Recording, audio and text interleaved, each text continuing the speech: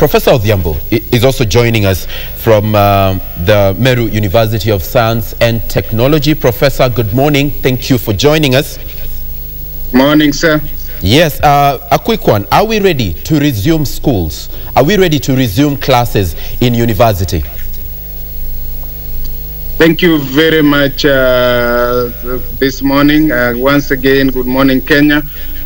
I talk from for the Meru University of Science and Technology, where I'm the Vice Chancellor. We did close uh, universities on 16th of March, and uh, quickly we migrated all our programs to digital and started preparing uh, to be ready to receive all students whenever the government would allow us to open. And so from 16th of March up to today, we have been working on with the Ministry of Education and Research, I mean the State Department of Education and Research. We've been working with the Ministry of Health. We've been working with uh, our county government that we work with very well yes, we have put a lot of protocol requirements that were given, the checklist that were given by our parent ministry, the Ministry of Education, of course, uh, where Professor Magoha is uh, the cabinet secretary. And yes, I can say with, uh, with a probability of around 95%, giving an error of 5%, that yes, we are ready. Thank you. Mm-hmm. And what are some of these guidelines that you've put in place to ensure that students at your institution are safe? We have, if you come right now to my university at the gate, you'll find that we have put the running water for all students, not only the students, but anybody visiting the university. You have to wash your hand, you have to sanitize yourself. We have put thermoguns, thermoguns in all the, the entries to the universities and also to the classrooms and also to the hostels. We have put running water tanks everywhere in the classrooms, in the hostels, I mean, everywhere. We there's the social distance requirement in our accommodation room. All the best, like I've been accommodating about 980 students. Mm-hmm. Because of the social distance requirement, Yeah. I've now reduced that to almost 480. So social distance in the accommodation host, hostels has been observed. The classrooms, the where we were, uh, were initially accommodating our students, we have been given directive in terms of the distance between one desk and another. And if you walk into all my classrooms now, my lecture rooms and laboratories, we have put permanent marker that tells you when you sit here, the next desk will be this and that and that. Yes, and then the signage, the signage telling people. Okay, okay, Professor, I'll be coming to you in just a short while uh, as we try and sort out something with your connection. However, that is uh, Professor Odhiambo. He is the Vice Chancellor for the Meru University of Science and Technology, giving an assurance that yes, learning can resume in that particular institution. However, this is happening in the wake of concerns that have been given by experts, and they are talking about the high likelihood of having a second wave of COVID 19 in the country because restrictions are no longer being adhered to. And the most critical element about this second wave is that uh, these infections now could be, uh, this infection of COVID 19 could be sort of moving to the counties. All right? Remember earlier on when we had our first case in March, a lot was reported in Nairobi and the metropolitan area. However, now concern is being raised that uh, the infections could be moving to the counties. And we don't even want to start talking about infrastructure, health-wise, and whether or not we have the capacity to handle a second wave of COVID-19 join in this conversation. Talk to us. Use the hashtag Good Morning Kenya at KBC Channel 1 at Sam W. Njoroge. Let us know whether you feel convinced that learning can resume in our institutions of higher learning. I'm still with Professor Odhiambo, the Vice Chancellor for the Meru University of Science and Technology. Professor, you can hear me now? Very well, very well, sir. Thank you, thank you so much. So maybe you can carry on with uh, the point you are exhausting around the guidelines that you've put in place to ensure that students at the Meru University of Science and Technology are safe. Thank you. I think uh, we are ready. We have uh, the hand washing uh, equipment put all over. We have the water running water tanks all over in the all the inlets coming to the universities or all the inlets going to the classrooms and the, the accommodation places. We've done signage all over the university to tell students, to tell everybody coming to the university, all the stakeholders that at all time we should be very cautious and very sensitive to the, the, the, the existence of, uh, of uh, COVID-19. We, in our classrooms, we have made permanent marks that tells you when you sit here, the next person should sit there. Your desk should sit in such a this kind of distance. Mm-hmm. And uh, very importantly, as uh, our President, His Excellency Uhuru uh, Muigai Kenyatta said, this thing also requires personal responsibility. As myself, as a Vice Chancellor, I have to be conscious of its existence. We have told our students to be conscious. That is a personal responsibility. Whenever they come from where they are living, they have to be conscious, they have to be self-aware that this thing exists and they have to take precautions so that they do not expose themselves and expose the other people mm-hmm. this possible emergence of, of the disease. So yes, that's what we are doing. Thank okay. you very much. And what level of stakeholder engagement has gone into, into arriving at this decision? When we closed university on 16th of uh, March this year. I engaged all my staff, all the council members, all the students. I wrote almost two, three pages explaining what is happening. And I just that time is that we just have learned to coexist with uh, with uh, this disease. And so I know the Senate, you know, the Senate is the highest ranking academic in the university, which now truncated to the Dean's Committee, which brings all our schools and faculties, and now which now to depart or departments where all the staff employed in the university to teach, research, and do all the work are involved. So all this have been involved. We did have a meeting with all this and explained the addition. So eventually we agreed we just have to learn how to start. That's the chair. That's when we started now bringing the, the idea of digitizing all our program. And I would like to report that among the many universities that have really adopted technology, Meru University is one of the this university, the public university that has fully adopted tech, uh, digital technology so that the students are able to access all their notes, access their lectures, access their cars, and we were almost ready to start doing exams in the technology, but we went slow a bit because we realized that we were about to reopen. So we are ready. We did train lecturers on online teaching. We did train all our students on online learning.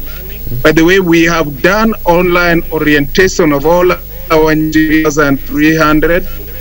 We have also trained all our first years on uh, online. We doing this, knowing very well that there is a possibility from what we have learned from the whole world that can be reemergence of this disease. And we don't want to be found the way we were found early this year when we did not have a, second option. This time, if it comes, we are not going to stop universities. We are simply going to migrate to the online learning. Thank you very much. All right, and and uh, I like the fact that you bring in the concern of a second wave because now that concern has been shared right here in the country. Experts arguing that if we continue the way we are going, we could see a resurgence of COVID-19 infections and the curve now, you know, getting to its peak. Is that concern ringing in your mind, Professor? Yes, this is real.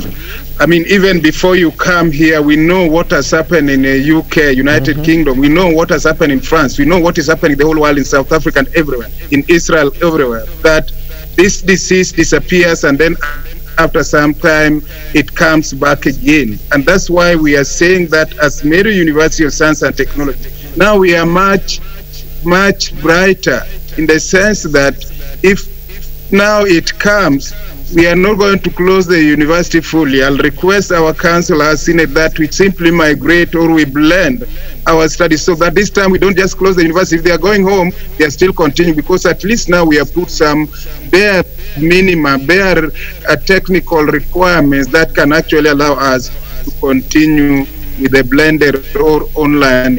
Yes, the concern is real and we should not close our eyes on it. Okay, and how do you intend to make up for lost time?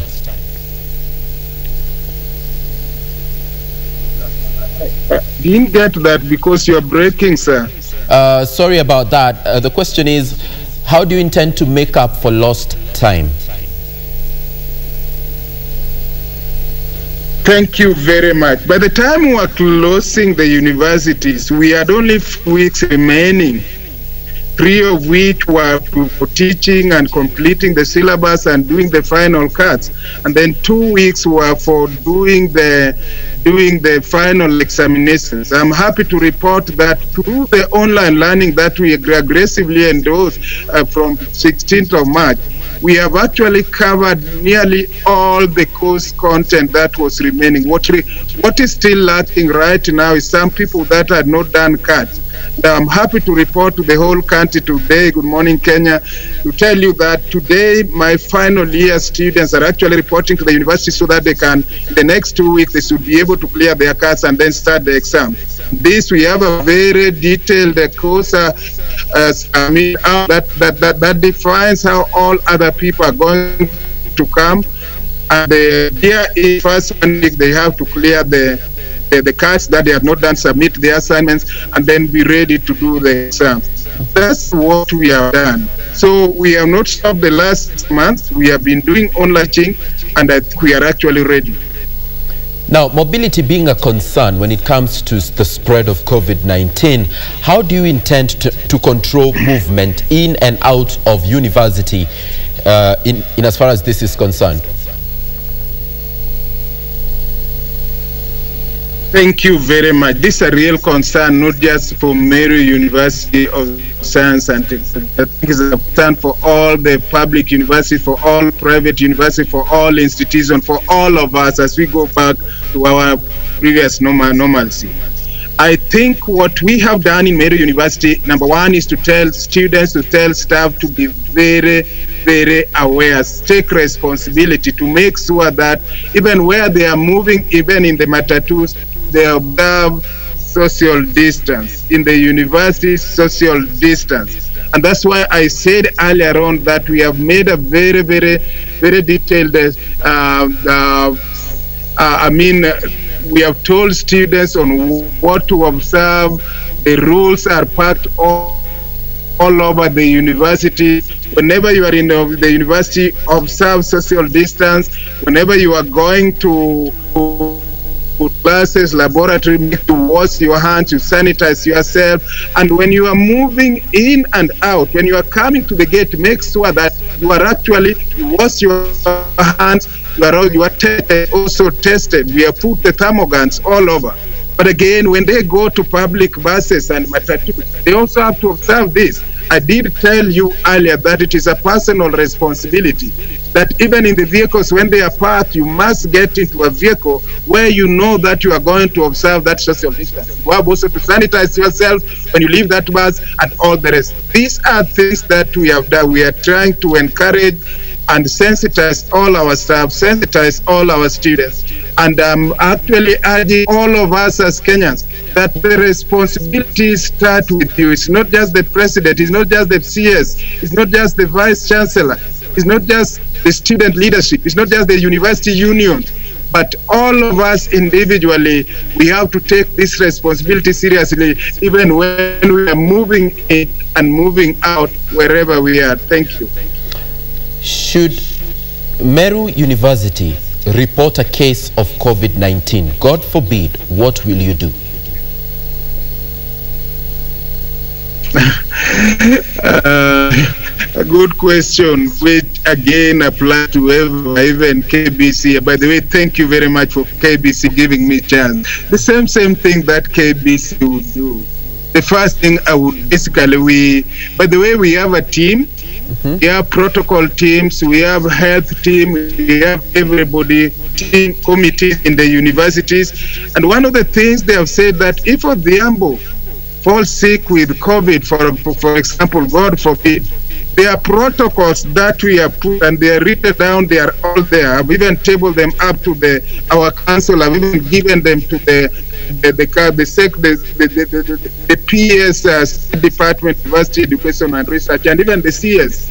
And all of us have so that tells us where Odhiambo falls sick, first of all, he has to be isolated.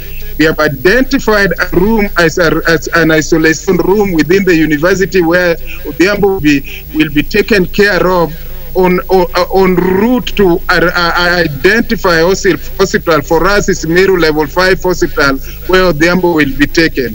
So that is exactly what will be done. But we are praying, and I am a very faithful person, that Odhiambo is not going to get this COVID-19 so long as he observes the protocol that put on as advised by our Ministry of Education, by Health Ministry, and as we take personal responsibility, we pray that this is not going to happen. Thank you. Right. Uh, we really do pray that that is not going to happen and uh, the right protocol will be employed.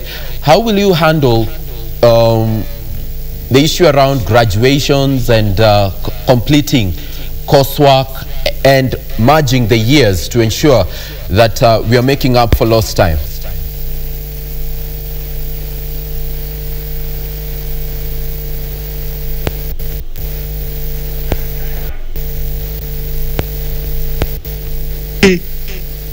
Our digital system is set up. We have uh, one of the few public universities that have done online orientation of all the first years. We are few, one of the few public universities that have gone through ODEL, open distance and e-learning very successfully. We are ready now to do exams to our final year students to after they have completed their coursework in December. Go physical. If it doesn't go, we are ready to do online graduation, which I think some of our public universities and some of our private universities have done with a lot of success. So yes, we are ready. The system is there, and we are actually on discussion with our chancellor that confers the degree that if COVID continues, we'll still have our graduation in December, but it will be online graduation. Thank you. All right, thank you so much uh, for that. Maybe you can take a minute and address our stakeholders of the Meru University of Science and Technology app and including your students. What would you tell them this morning?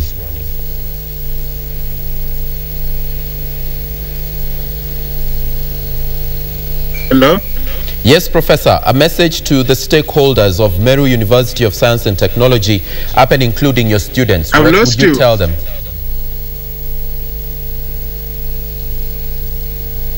I've lost you. You want me to tell students I, I can't get you, sir. I'm sorry. no, it's okay. I understand. What message do you have for your students and stakeholders of Meru University Thank you very much. Thank you very much. Yeah. Thank you. Thank you. Thank you. Thank you. I would like to appeal to all our stakeholders of our university, the Meru University of Science and Technology, the university we love so much, to stand up and support this university. We are ready. We have made all the protocols that are required for the university to reopen. We are ready to have our family students starting today to report and they complete the coursework, the class that they had not done, and then start their exams on 15.